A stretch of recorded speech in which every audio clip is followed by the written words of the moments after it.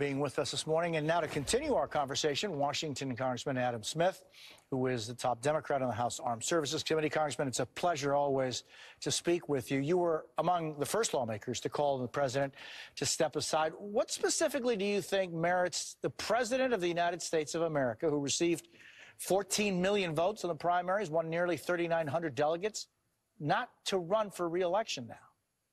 Two things. One, what became clear in that debate and what we were worried about even before the debate and what has been even further clarified since the debate, the president is not capable of delivering the message in an effective way. And I, you know, I don't, I don't see how anyone could debate that. There have been countless examples, even since the debate, that makes it clear that the president is struggling to run a schedule and be able to do interviews and give speeches and really prosecute the case against Donald Trump.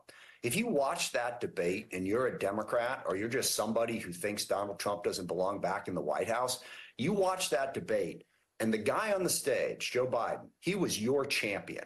He was the guy who was going to stand up to Donald Trump and stand up for the agenda that we want. And he could not do it. And it wasn't that difficult. Trump was lying constantly, leaving incredible openings that any average mediocre debater could have could have stepped in and used. The president couldn't do it. And since then, he has still struggled to do that. So that's number one. It is clear at this point that he cannot deliver that message. After that rambling, insane speech that Donald Trump gave last night, my goodness, if we just get a candidate who can stand up and deliver our message, we win. And number two, the questions about the president's health continue. I mean, you've seen the White House press briefing since that debate. That dominates the discussion. The White House has not been completely transparent about that situation. Those are all distractions from what this election should be about. It should be about the danger of Donald Trump and the promise of our political agenda on the Democratic side. As your reporter, as Ali mentioned just a moment ago, you know, Joe Biden's done a great job as president. I want to deliver that message. I want someone at the top of the ticket who's going to deliver that message. And what we have learned is the president can't. As far as all those people who voted for him, you know, as I say, go back, play that debate right before any of those 14 million people vote. And do you think they'd vote differently? I do. Circumstances have changed since those elections happened. Democratic Party has a process. We have delegates. We can nominate our candidate that we want. It doesn't have to be any one person. And I, I just implore our party to see this. And one final point, you give me a lot of time here, I respect that. If we are at this point in the campaign and the president is struggling to maintain Democrats on his side, if their argument is, well, we think we can get a majority of Democrats to be with us. At this point in the campaign, that answers the question. It is just not a viable campaign anymore, and we have better options we need to take them. Uh, Congressman, you, uh, among the things that you, you mentioned, you, you, say that the White House has not been transparent. Uh, what is it about the president that you think the White House has not been transparent about? And I mean, the sure, president well, is a public figure. You, we've seen him for th- three and a half right? years. It's not like, you know, uh, so what is it about the White House that you think has not been transparent? He had a physical apparently in February. Okay after that debate performance, people were genuinely concerned about his health. What needed to happen at that point, they needed to say, okay, we're going to come in, we're going to do a full, honest health assessment, and we're going to release it to the public, and we're going to let you know. Now, and I understand every candidate can do that. Frankly, I'd like to see the same thing done for Donald Trump. Let's be perfectly honest about that. After that performance last night, I think that is a worthy concern and a worthy thing to be done. But if you were going to try to reassure voters across this country after that debate performance, that's what you should have done.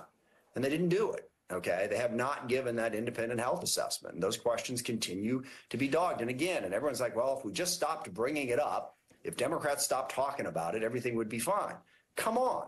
After that debate performance, after you know the presentation since then, the country's bringing it up. My constituents are bringing it up. This notion that somehow it's just elite Democrats, it's the grassroots.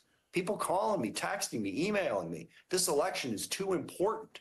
We need to have a strong person out there who can deliver our message because, again, our message is really good.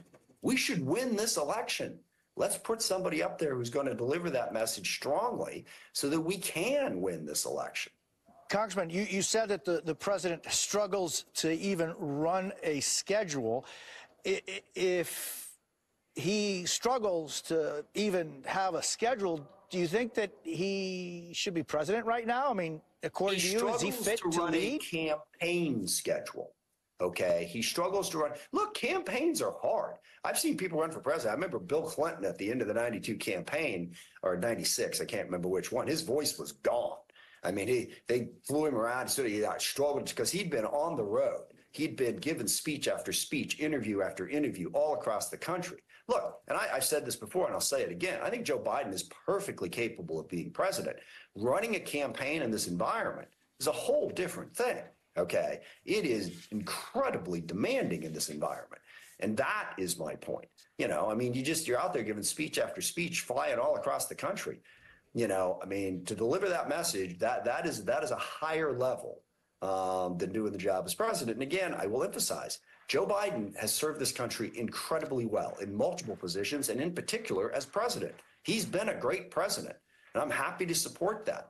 I want his message to get delivered, and we need a different person to deliver it. That's that's my only Congress- point. Congressman Adam Smith, thank you very much for your time. Very much appreciated.